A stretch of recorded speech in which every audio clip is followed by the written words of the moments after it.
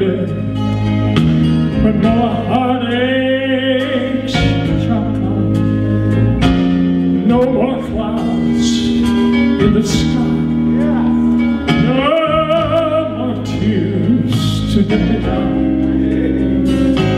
All is peace forevermore. On that happy golden shore day, that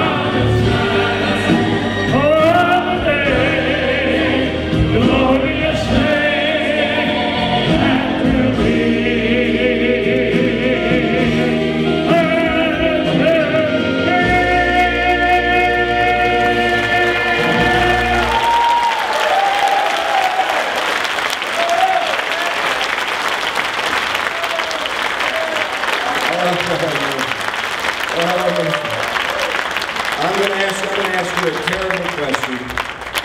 Jim, how many times have you sung that song? Eight million.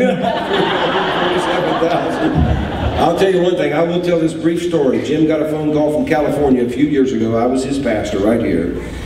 A gentleman, a, a gentleman's family called and said, "Jim, we want you to fly to Southern California just to sing this song at our father's funeral." Jim said, "I really can't. My wife Ruth isn't well, and I just can't fly out there and be gone.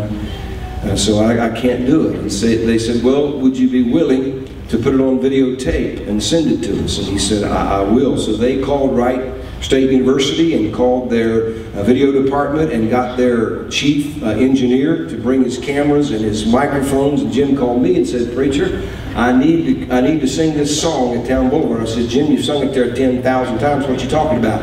He said, "I got to put it on tape and send it to Southern California." I said, "I'll be there at five o'clock." We got here at five o'clock, and Jim sung. I laid on the floor and produced it, and and and, and, uh, and did did a few word things with it. And the guy was on the camera, and we did the song, and Jim focused on the cross and sung the song like I've never heard a man sing it in his life.